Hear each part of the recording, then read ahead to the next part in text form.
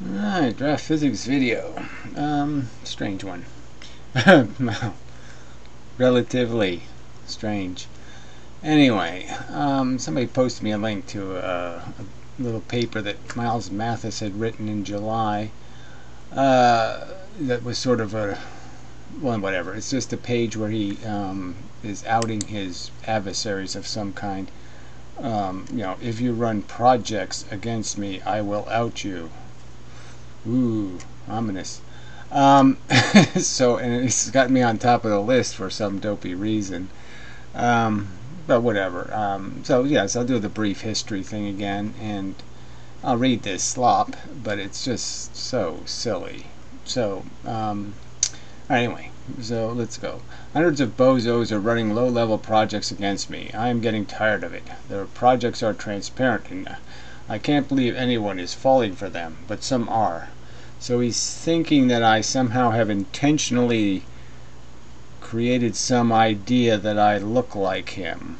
Or, if he is willing to concede that it has nothing to do with anything I have done, it's just what other people have projected, um, then he's treating me like shit for no good reason at all. But clearly, he's treating me like shit for no good reason at all. But anyway, I have mentioned draft science at YouTube before. Yes, kind of inaccurately. I mean, you pointed out how, well, I haven't watched any of his videos and I haven't really paid any attention or figured out anything. And, you know, I had communicated with you previously. I sent you an email, uh, you know, when I opened this channel, um, um, soliciting collaboration on some of our common interests. And you would have none of it. Um, you know, you were, I work alone. And that was the extent of his uh, reply and and like I said, I, I thought it would be interesting just because we did have a lot in common. We're similar age, but we had similar interest. And you know, on his profile, there's a picture of him when he's like I don't know six or something, and you know, I have exactly the same freaking picture of me. But anyway, so we had you know both liked golf, uh, painted, you know, different things, some common commonalities between us, and um, so um, no big deal. I have no interest in any other way. I, I, read some of your physics papers and thought they were interesting. Now, later I found out you had written a bunch of truther loony papers that are just complete batshit crazy, but whatever. That's uh, your thing. Alright, he doesn't make it clear he isn't me. Now, every single video where I've ever mentioned your name I clearly talk about you as somebody else other than me, but in every one of those videos I think I've said the words I'm not Miles Mathis, because every time I've made one of those videos it's usually in response to some idiot thinking I'm Miles Mathis, and I clearly say I'm not Miles Mathis. I mean, fuck. I mean, I can write it, you know, I can change my channel name to I'm not Miles Mathis if it would make you happy, but I, should I really have to do that? Uh, where exactly have I run a project to create this confusion. I have absolutely no interest in, in, in, my physics being confused with your silly physics, shithead. I don't really want to be thought of as some kind of Jew Jew worrier, you know, whatever whatever you are. You know, your obsession with Jews. I don't have such an obsession. I really don't want to be associated with somebody with such a, uh, uh, obsessions. And um, you know, clearly there's lots of things about your character that I may find offensive to have myself slandered with, asshole. God, I mean, you know. the fact that you're a petty little weasel, I mean, is one of the things I wouldn't want people to think I'm this petty, a douche. Anyway, and his videos pollute the page of my friend Stephen whatever. Yeah, your your friend. Okay, Stephen is the Dutch guy. Good, that's a better way to put it.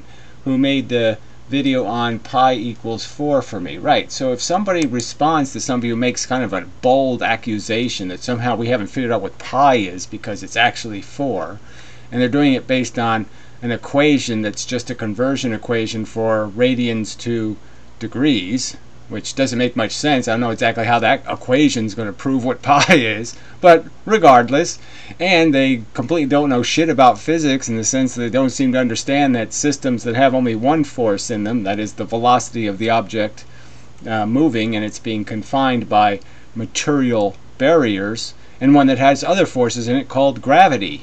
And that they're not the same then. The two experiments can't really be compared to each other because one has two forces acting on it and one only has one force acting on it.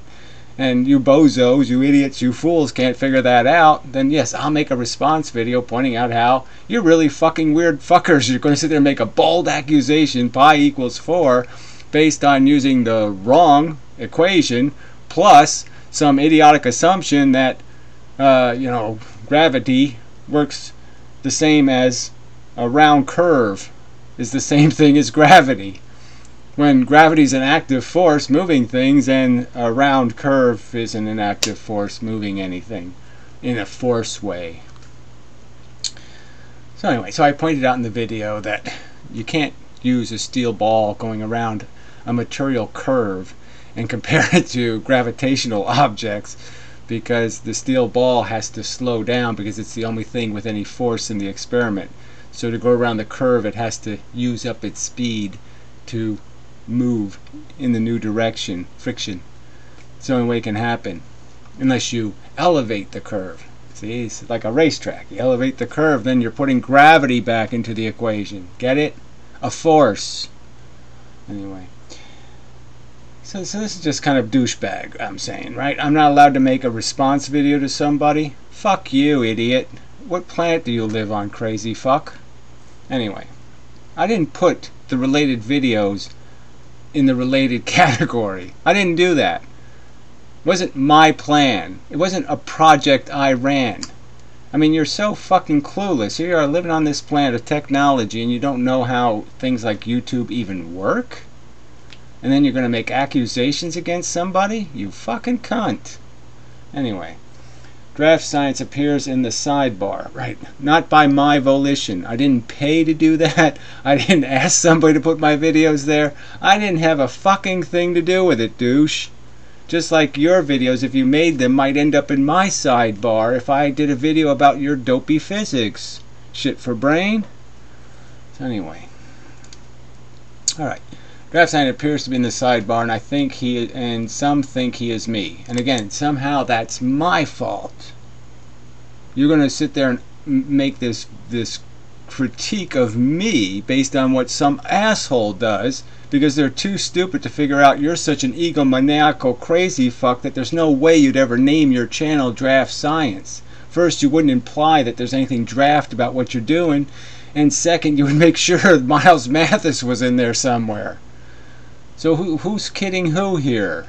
Your stupid followers are dumb enough to think so. Not none of my people. None of my people go to Miles Mathis' channel and say, hey, that looks just like Inmendham.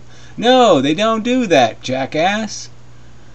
Alright, but some scumbags are using this his ugly mug. Okay, so why don't you out the scumbags who are using my image to imply that Miles Mathis is ugly? Why don't you go show them? Why don't you out them? Why are you fucking ragging on me, fuckface? uh, to imply that I have aged very poorly in the past decade. So again, it's a pretty silly comparison. First, you know, I'll, I'll just read some more, but I mean, whatever. Uh, I know, I now think that may have been his main assignment and use. So I somehow had an assignment and a use. I don't even understand that. I now think that may be, have been his. His who? Who? Who? Who's the his person here besides me? People think he is me and run screaming. Uh, whatever. Uh, I mean, you know, let's. Here's here's a self-portrait of Miles Mathis. yeah. Okay. Right. So I would want to be associated with this poofter. Sorry. No, thank you. Um, he does paint interestingly, but I mean, it's just you know I pointed this out before. I mean, it's got it's so lazy in some respects because he doesn't finish like the ears aren't done. You know, everything kind of just drifts into sloppy, and then it's like got this white white spot in his hair for no good reason, and you know the highlights are a little too bold. And you're just saying, you know, this easy stuff, you know. But anyway, otherwise, you know, proportions aren't bad. But the, it's a poofter photo, so that that's that's how he sees himself, and he's concerned about how he's getting maligned by my image. when I, you know, I'm pretty concerned that somebody would confuse this guy for me. But anyway, let's read some more. Um, all right, the first pick is me. The second is draft science. Can you tell the difference? So first off, I didn't get to pick the photo he's using, right? Which is, you know, it's not a bad picture from videos. I mean, videos are pretty crappy, but sure, okay, it's not a terrible image of me. Some will claim that it is an old pic of me, uh, but it isn't. No, it's just one in no light with you're wearing a hat. So you're indoors wearing a hat. You're going to take a picture to prove how you're prettier than me, and you can't even take your fucking hat off? You know, that somehow you've aged better? I mean, isn't wearing a hat a sign of somebody who's got like a bald head or something? so what you pussy out for? But anyway, uh, it is a selfie I just took in the bathroom mirror. So you don't even know how to take a selfie without a mirror? So why did you take it in the mirror? I always look great in mirrors, to tell you the truth. I mean, if I could turn this camera around now, I look fantastic in the mirror that's behind it. Um, so, so yeah, okay. I mean, you're just so. I mean, this is the kind of shit that bugs you, huh? This is what you're worried about. Oh, amazing. I didn't clean up first or use professional lighting. Well, either did I, asshole. I made a video, okay? Hundreds of them. I don't clean up for them at all. Because I didn't think I was going to have to worry about 54 year old poofters uh, that was going to scrutinize my appearance. Shit. Gee. Anyway, since I didn't want an unfair advantage. Oh, it's not an unfair advantage. Take my image from freaking YouTube clips. Uh, still, I think you can see why I don't like being mistaken for draft science. Well, I just go back to, uh, you know, I think you can understand why I wouldn't really want to be thought of as this guy. You know. So anyway, I mean, what a pile. I mean, just petty crap. So he sits there. I'm almost 54. Yeah, and I'm at the time you wrote this, I was almost 50 fucking eight you know, I guess you don't understand. That's another physics thing, I guess. You know, it's sort of uh, things are on curves, you know, and and how how age starts to kill you. It's one of those those curves that you know goes up, um, you know, much much more um, steeply as you get further down that road. So every year starts to count. It's like when you're a little kid, you change how you look a lot when you're young.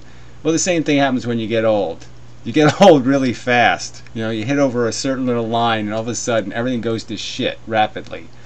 So yeah, you got four years on me, fuckhead. Yes, kids, you too can age gracefully. So again, that's all subjective. If you can get your sleep, don't smoke, and don't drink or do drugs. Yeah, but you can't grow taller, so I'll always be taller than you. Ha ha ha! you know, I always have a better, you know, shinier ass and a, a bigger, uh, you know. So, ha ha on you. Um, the second person there. So now that, that's it. So he puts me on top of this stupid jerk list. I didn't do a damn thing to this stupid cunt. And, you know, he does this, whatever this is, this fucking I'm ugly thing. You know, for what reason?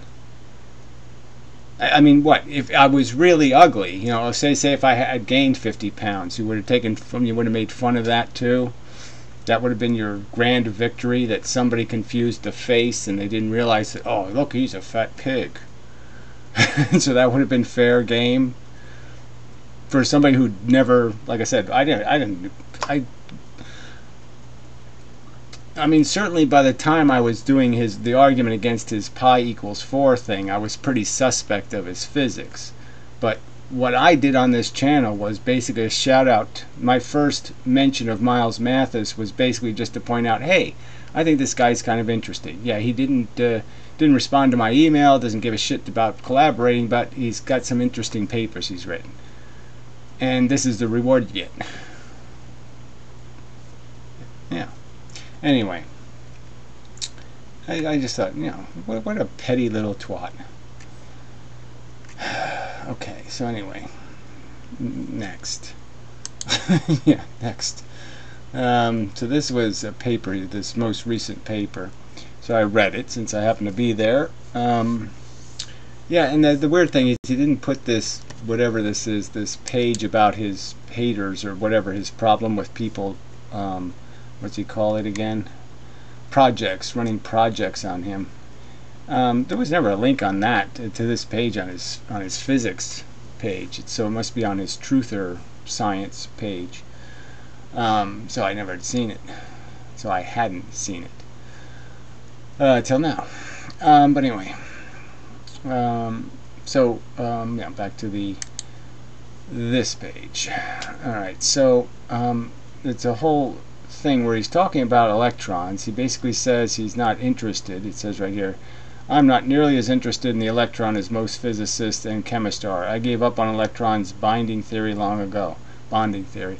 Um, and then he talks all this stuff about electrons and and um, uh, more importantly the um, positron that um, is supposed to be the anti version of an electron. And again, all of this science is based on stuff happening in cloud chambers and um, that really isn't a photograph. You're not watching electrons tear through some kind of material and it's not what you're seeing. You're seeing a very indirect um, representation of an electron's freedom. They're not being a free medium. They're in a medium. And in mediums, there's all kinds of things that can happen. And so positrons are, you know, in regular experiments, you'll never see one because they're so um, rare. Um, so it's only in certain circumstances that you can create any kind of abundance of them. And I would argue that that's clearly because you're probably exposing the mediums to some different circumstance too, in the sense that the, the radiation you're sorry, the radiation you're using is um, energizing the medium or changing it in some respect, and that's why you're seeing more of these wrong direction electrons. And I would argue that they're not there's you know there's no I'm not going to say there's no positrons. I'm going to say something like they're either okay a subdivision of a proton or they are an electron. It's just that the local field conditions are such that the electron is in two different fields. I mean, it's not going to be bent if it runs right next to a nucleus, then it's going to be captured by that proton. So it kind of depends on what the local environment is, which way an electron will spin to its death. Now, if we're talking about just traveling in a distance, well, that gets a little more complicated. But um, I still have uh, my doubts about the theory of antiparticles. Um, I don't think so. I don't think so in kind of a strong way. Um, I don't think there the physics needs to go go there or create that complication. So anyway, Miles Mathis, when you read through the article, he doesn't exactly say ether, but he's clearly a believer in ether because he thinks things spin, and that their spin uh, causes disturbances in the field, the charge field, and that that charge field somehow is making things move in certain ways. So depending on which way they're spinning we'll decide which way things move. Now he seems to also think that photons have antiparticles and that the difference between the two is that they're spinning somehow. And I think that's going just a, not, a totally impractical step. Um, because once you make photons spin, then you have to explain how they travel through the ether without being without bending based on their spin. You know, so why aren't they being why are they traveling in straight lines? Why how do they get from far away galaxies to us uh, if they're spinning and theoretically spinning in you know on many different planes to us. They're not you know if they're not polarized in one direction then they'd be spinning all over the place. So you'd never be able to see anything. Um, so yeah, I don't buy that. Um, so yeah, there's a lot of detail in this article, um, eh, but yeah, it's based on a whole remaking of physics um, that you know I don't think if you go through it piece by piece that each piece could be defended. As I just pointed out, I don't think you can defend photons having spin in an ether. Now, if you gave them spin in a non-ether, that might be doable, but spinning them in ether, how, how can they not be bent by their spin? You know, a simple question. I think simple enough. Um, so Alright, I think that's enough of that. So I'll go back to comments because somebody left a comment. Where are the hell the comments? Back here? I guess so. So that was the Miles Mathis paper. Um, you know, just the pointless insults for no good reason. Maybe I'll just put on my channel page a little sentence underneath saying I'm not Miles Mathis to make it clear in some way that I have never desired to be confused with Miles Mathis. I've never attempted to create any such confusion. I've never been in any way encouraged any such confusion. I mean, it's just such a scummy. I mean, he's just such a scummy little turd. anyway, um, so this guy's comment. I mean, this, just these people. You say, what is this stuff? Bugginger Mickle. Uh, sad part is you're not even trolling. Leave the thinking for the big boys. And that's coming from Anonymous Coward. Nothing. No channel content, no anything, nothing to demonstrate that I should be at all interested in his douchebag opinion. Just whatever. Rag comment. And your penance when you're demonstrated to be an asshole is going to be what? Will you, you know, properly, um, you know, Subico yourself and such? Ugh, what a fucking idiot. So anyway, useless crap. I mean, you really have to make some kind of argument. You're going to say somebody's wrong, you have to have some theory of the wrong elements. Uh, anyway, alright, so uh, the comment was a comment to. Well, how come it's not there anymore? Ah, it's down here. So, I already did this other comment about the gravity somehow not working, and that, you know, I've sort of explained. It works. It's called mock gravity. It's not a problem. We're just talking about the inverse square law. How many times do I have to say it? All Einstein spent spaces is a drawing of the inverse square law. Maybe I should draw that. So yeah, when I get to drawing, I'll do that. All right, it says, good question, Ben. As I was reading his explanation for gravity, so I'm kind of thinking this guy thinks I'm Miles Mathis.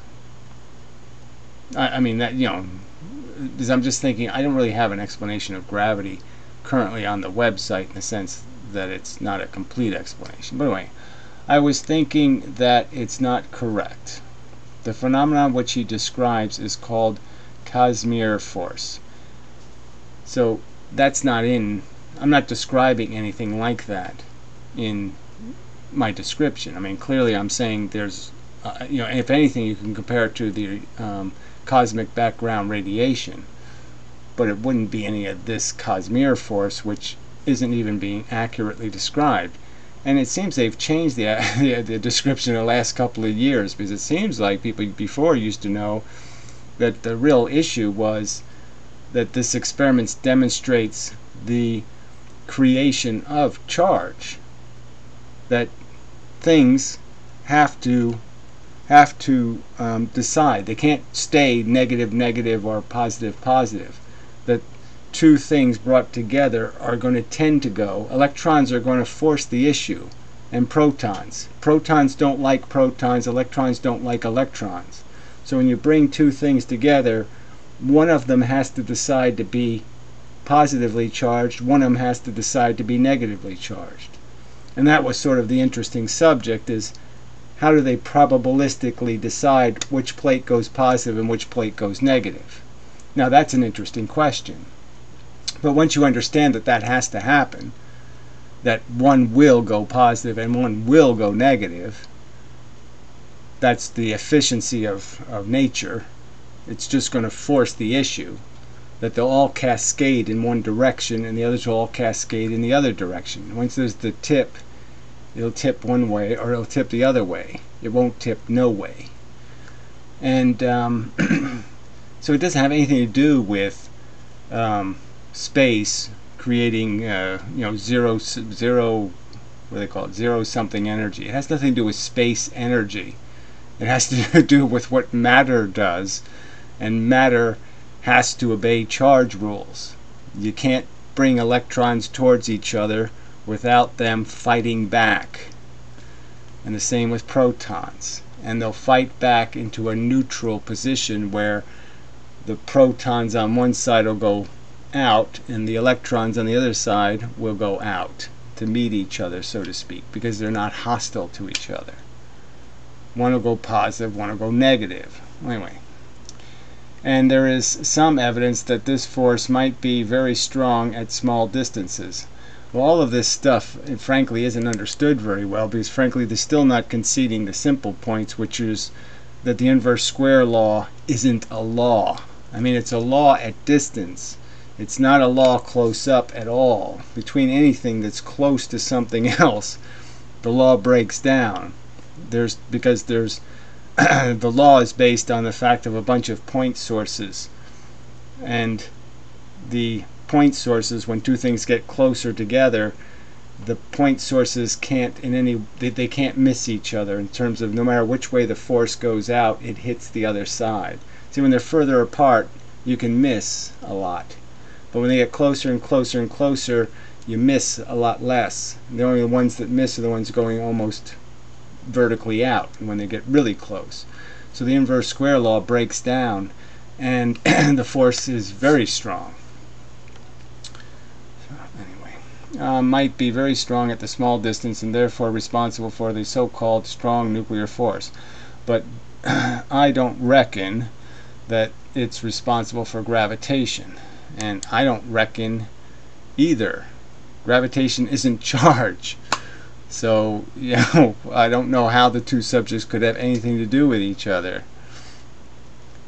So I don't know where you got this from. So I think, Mark, you're confusing me with somebody else because that's not my theory.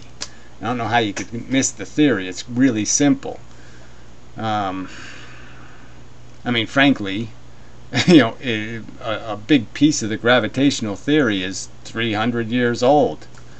So, so you know, whatever. Um, I just did the part where I fixed it, you know, the broken bits. Alright, I don't think there's anything else here that I haven't already done. Okay, um, so on to the drawings. Or on to some drawing. I would imagine some drawing, yes, something. I'll draw something here. Um, Alright, so, um, so the first point is, you know, I, I have emphasized this stuff, but I guess people just, just don't hear me. All the forces are the same force. So it's all made out of the same little bits. The cosmic background radiation, um, let's see, gravity, magnetism, it's all made out of the same stuff. The little bits are all the same. And the only thing that distinguishes okay, gravity, from magnetism, from the nuclear forces, let's say, and from photons, is the manifestation. That is, having them at a frequency. That's what photons are. They're gravity at a frequency. Magnetism is gravity where the polarization is segregated. Now, I don't want to say it that way, but I mean, that's what it is. So yeah, I might as well say it that way. If that's the only way I can end this confusion, they're all the same force. It's all gravity. So when you turn on the light, it's a form of gravity. You're just sending gravity at, at a frequency. So when you have a magnet, the magnet's merely just taking gravity that comes in and it's making all the red gravity come out of one side and all the black gravity come out of the other side. So there's two kinds of little bits that make up gravity. Red and black, round and square, doesn't matter. Right spin, left spin, I don't care how you think of it. They're two distinct elements in the gravitational field, and the two distinct elements react to the two distinct material bits, electrons and protons, exactly oppositely. And that's why electrons repel and protons and electrons attract quote unquote, or are pushed together. And all right. And so another key thing to recognize. So so all of these all this thing is just about the fact that there's these little energy bits. Okay, and they're in these two stupid, you know, different forms. Red, black, whatever. And they're moving in all directions around everything. And what what changes, what a material bit can do, okay, so when they crash into a material bit, what the material bit can essentially do is it can change their their arrangement. It can make the black thing red and the red thing black, so to speak. And that ability is what creates all the complexity. I mean, that's probably not the best way to do it because it's really about direction. so if there if you're not changing direction, then you're just got straight back. You know, you just get reflections back. You don't actually switch. The only way you switch is the right turn thing. So so when something hits at right angles is when you change the color.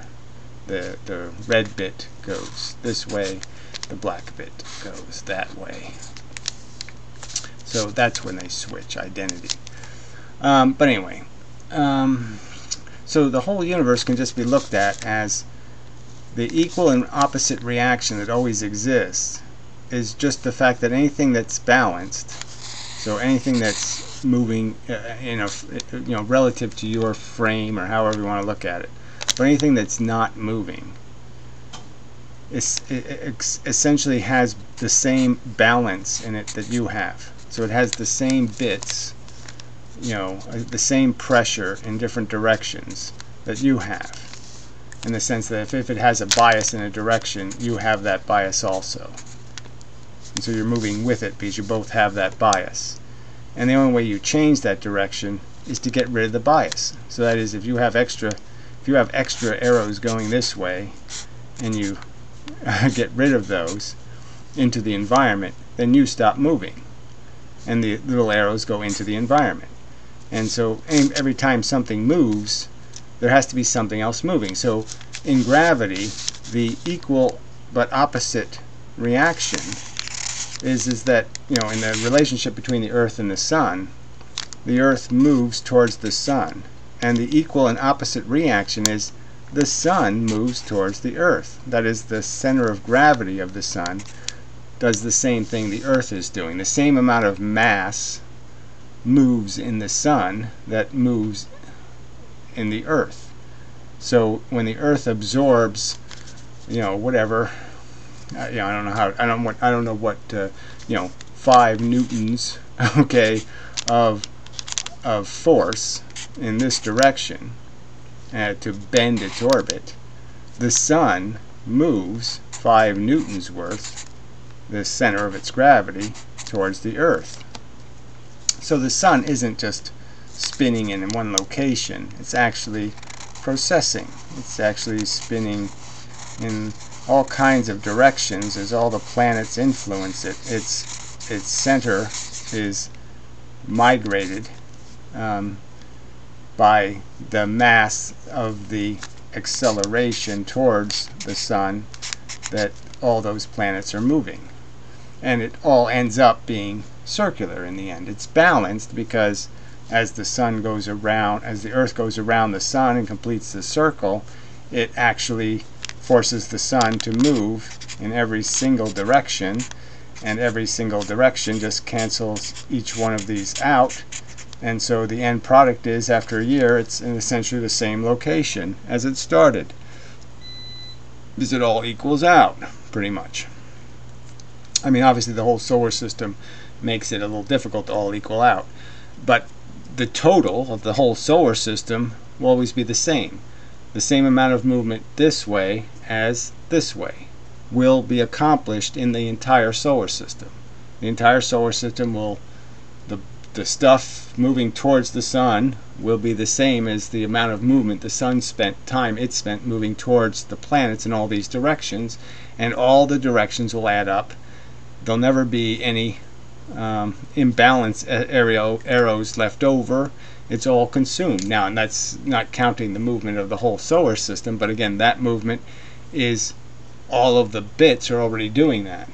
All of the planets, everything's already moving in that frame, so it's all moving that way anyway, um, as an extra velocity, as an extra imbalance it has. So again, the balance is never zero, it's just your current inertial state.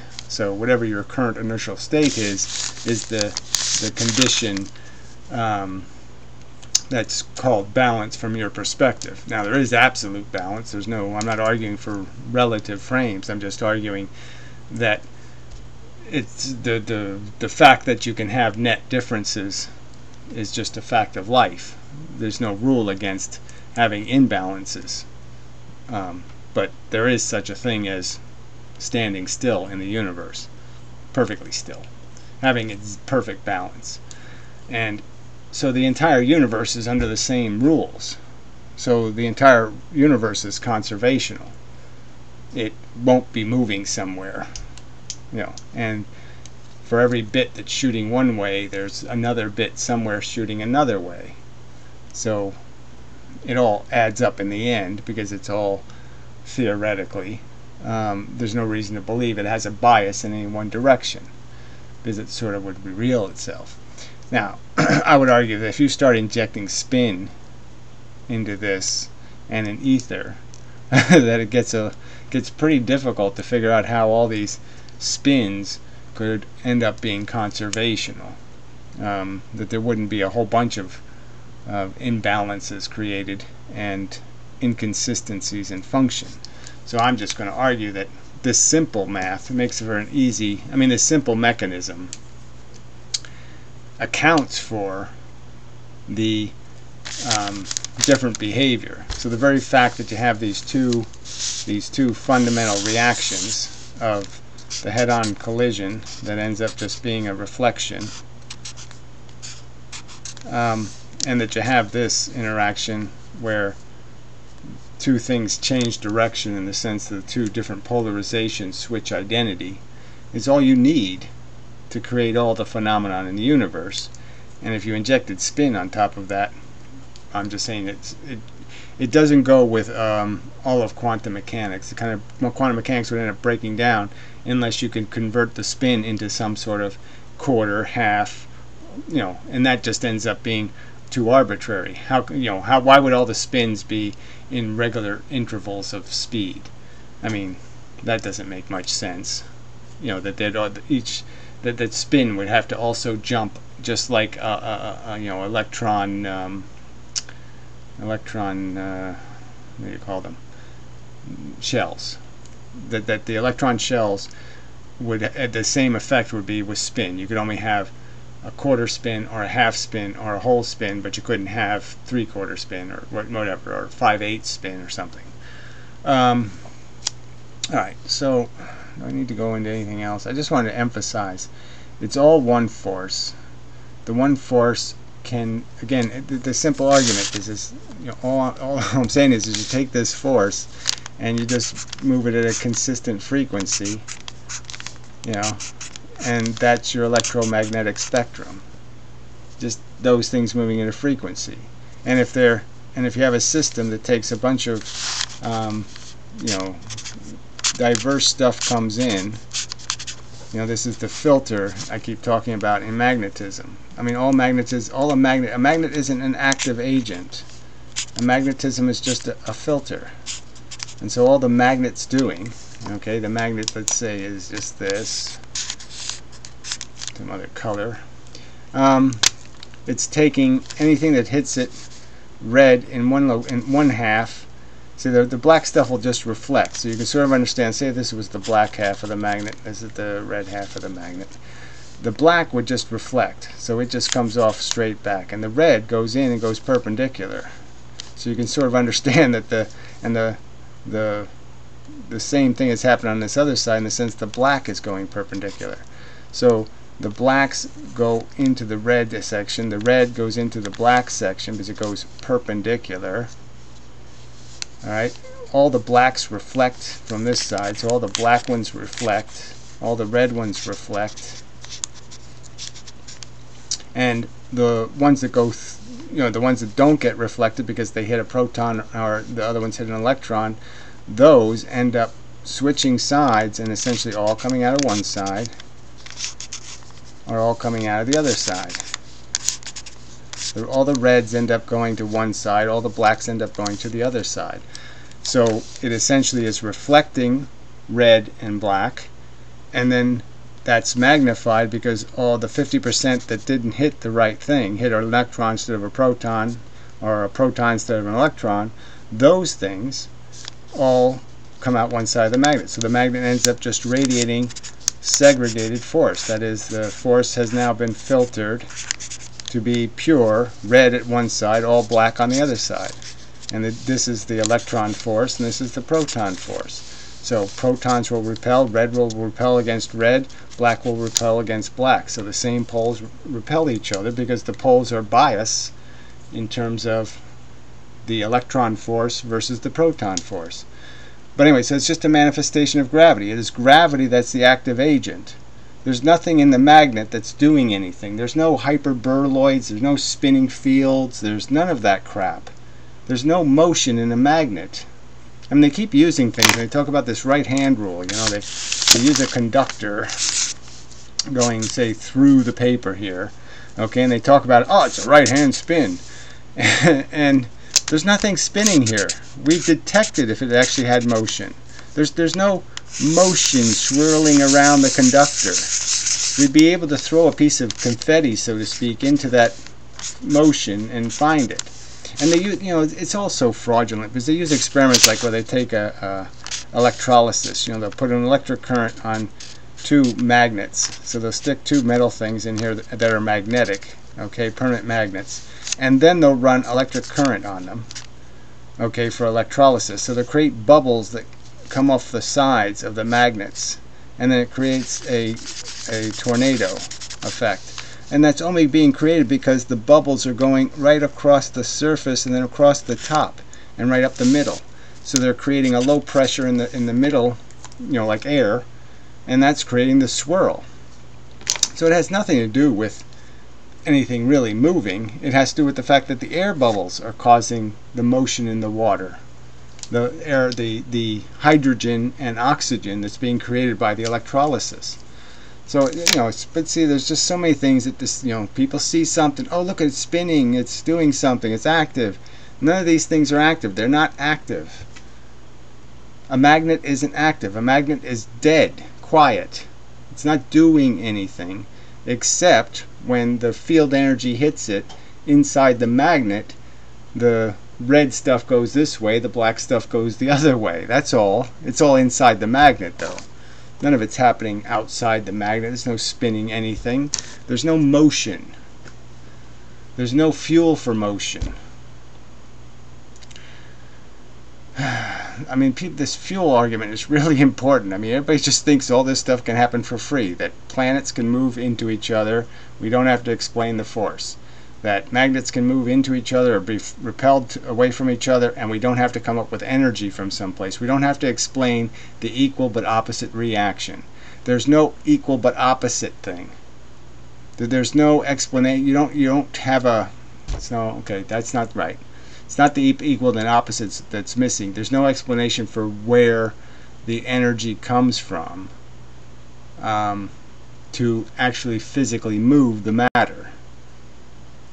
Because there's no explanation that the, it has to come from external because there's no chemistry that you can take it from without changing its mass. And neither one loses mass planets don't lose mass by producing gravity. The sun doesn't lose mass to produce gravity. Magnets don't get lighter. It, okay it's probably enough. So anyway, so yes, there hasn't been any, you know, there's no counter arguments I've heard or haven't been made any, so there's nothing to really argue with. But um, you know, I have to come. I mean, this whole the ether thing. They people just say stuff. Like I said, they to talk about a spin, and then they say, "See, it could spin into each other if its two spins are opposite." But they don't take into account what that means as byproducts. That you'd have all kinds of effects if there was a bunch of ether currents moving. You could detect them especially if photons are spinning also. Because obviously you could put photons in circumstances where the ether is spinning opposite to their spin, and then you'd have to account for why the photon didn't move, because it would have to move if that were true. If it was truly sensing the the spin in the ether, it would have to be affected by it. Logically. So anyway, but enough. This light off. Yeah, the shadow's not that bad probably live with that, putting the light on. Alright, so, um, not exactly the video I wanted to make, but uh, it'll have to do. So, yeah, so, there's nothing to say. I mean, you know, people suck. yeah, that's it. That's, yeah, that's good enough. People suck. Oh, yeah, I don't uh, yeah, on the other computer, I'm, I'm watching this stupid uh, Gen 11, Black Hole Blues, and other songs from outer space. Oh, I mean, it's this whole LIGO thing. I mean, they're just so trivial. Songs. Songs. Oh, fuck. This is not physics. Anyway, till next time. And such.